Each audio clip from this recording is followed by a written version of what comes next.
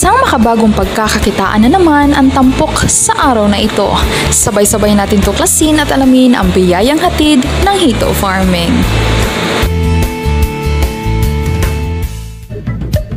General Santos City has a lot of things to offer. And in fact, we are considered as the tuna capital of the Philippines. Pero tuna nga lang ba ino-offer ni Jensen? Well, let's find out.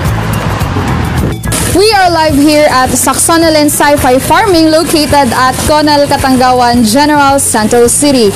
They offer halal African catfish, fingerlings, and grow out. Pantat in Tagalog or locally known as hito. It is also a huge privilege for us to have a one-on-one interview to the one of the most successful businesswoman in the hito farming industry. A former Mindanao State University professor under the College of Fisheries and the owner of Saxonolin Scientific Farming and she is a fellow researcher at Ohio University. Ngayong hapon ay makakapanayam natin ang may-ari ng Saxonolin Sci-Fish Farm dito sa Conal Katanggawan General Santos City. Ma'am Arlene Mangas. Mayang hapon po, ma'am. We are the scholars from TESDA under the qualification of Agro and Entrepreneurship. Good afternoon. Good afternoon. So basically po, why did you choose this kind of field? Ah, okay, so I choose uh, catfish farming over other uh, commodities because I find it easier to start uh, with limited capital. Because um, I used to be passionate about and very interested with banane, white shrimp before because as a consultant of the OST, that's the commodity that I'm really promoting to people uh, that they do the culture. But for me, when I started my the, my um, business, I never thought of doing banana culture because of uh, capitalization requirement. No, is it requires big capital. But with catfish, you can start small. You can start uh, very simple because the commodity, the fish, doesn't really require many equipment. For example, um, the catfish has an ar- arborescent organ. What is this arborescent organ? It's actually a lung-like structure that makes the catfish breathe atmospheric oxygen. That alone is already a big plus factor for us as entrepreneur because we don't need to buy paddle wheels. Just like one of my funds there, um, we harvest 4 tons and then with the 4 tons fish in the pond, we don't have to provide aerators or paddle wheels because they have the ability to breathe atmospheric oxygen.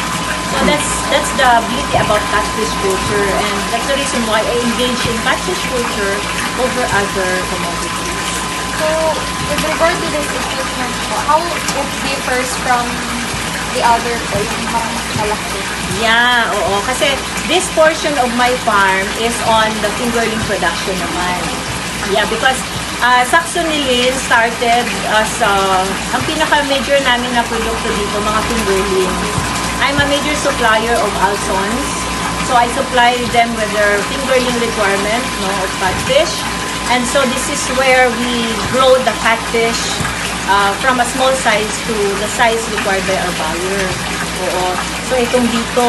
So yung big naman doon is really for uh, grow out culture. Ano po yung pinapakain nito? Yeah, we are feeding uh, commercial feeds. No? So we don't we don't feed our fish here any trash. Um, unlike other farms that they they feed their catfish wastes, waste product from piggery and uh, poultry. Oo. So kami dito, we depend on the commercial feed.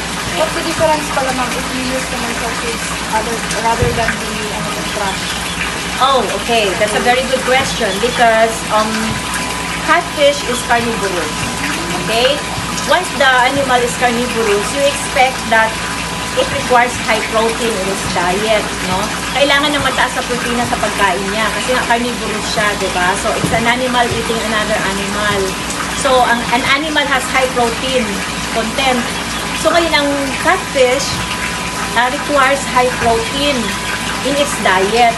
Ngayon, what is the protein content of the waste coming from piggery and poultry, it is less than 20%. And the requirement of catfish is at early stage, 60%, and then down to 50, 40, 30. Okay? And more than 20 ang pinakamababa sa finisher stage. It is better to use commercial feed uh, rather than sa waste. About sa hatching naman na, sa hatchery, can you tell us some information about the hatching?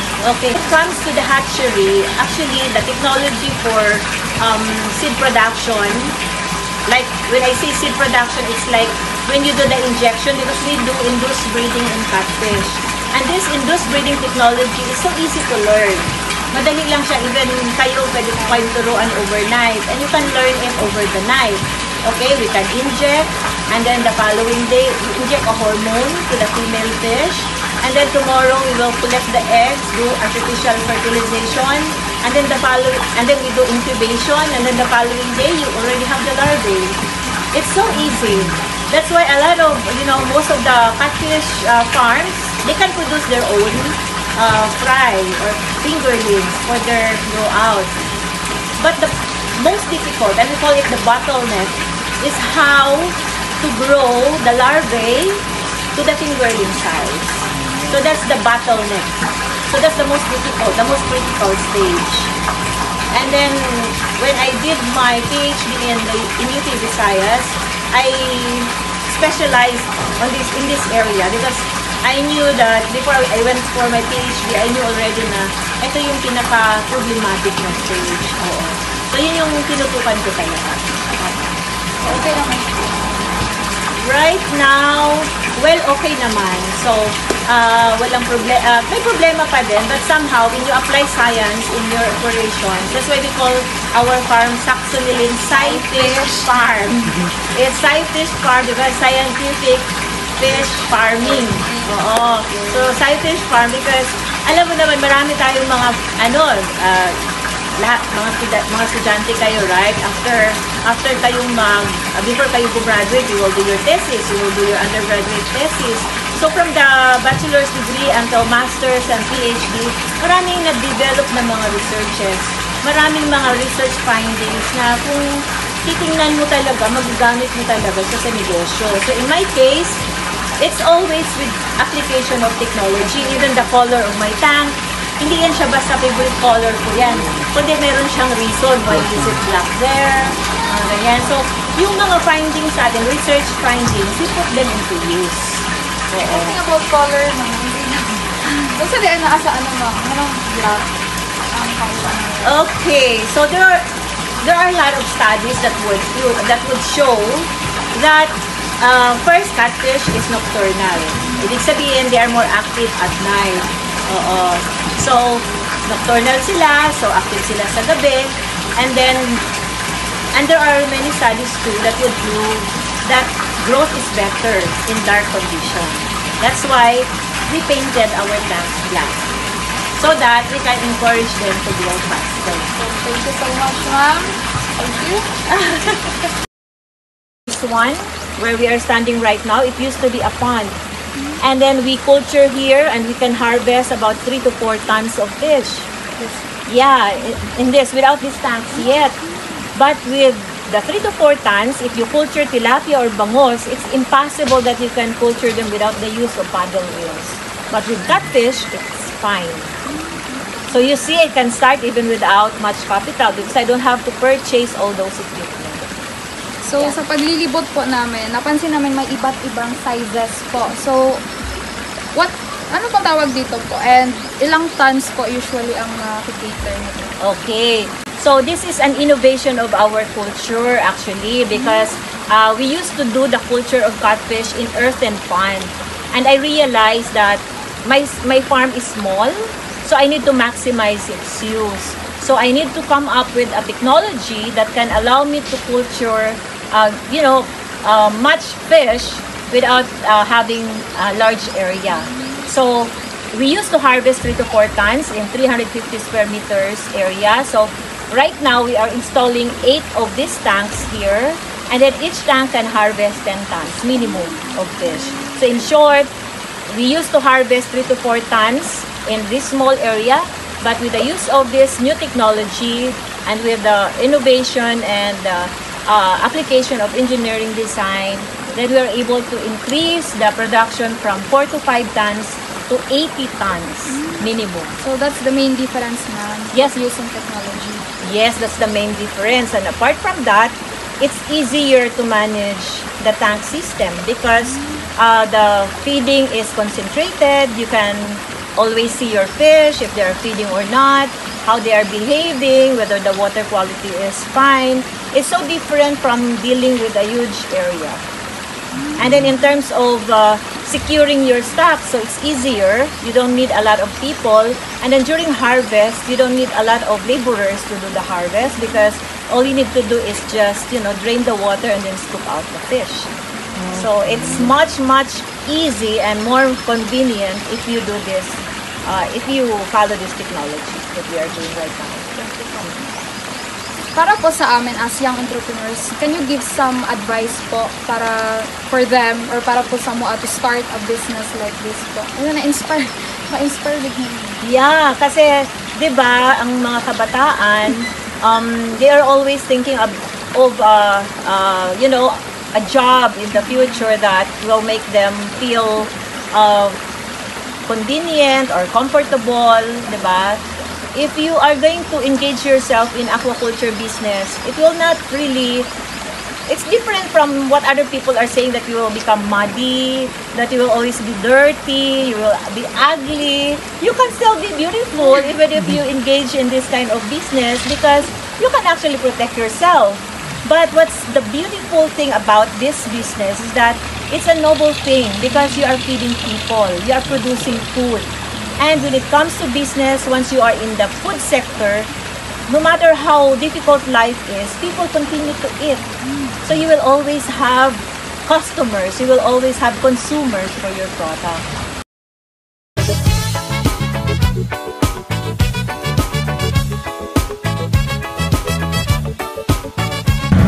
Fun fact about Hito. Did you know that Hito can survive up to 3 hours without water?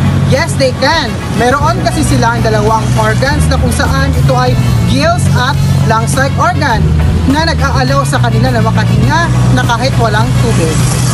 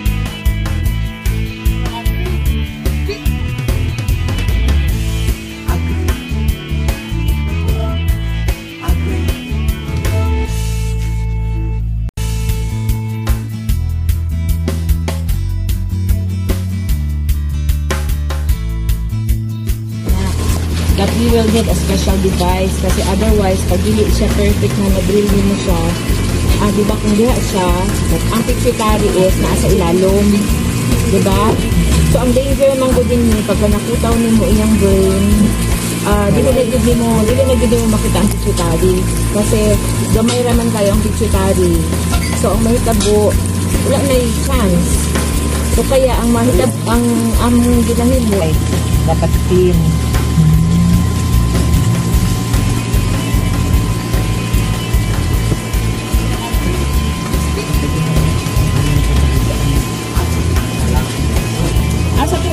Asa kung inyong kuan kuan jong katong Oo. Sa katong imong pangtanggal.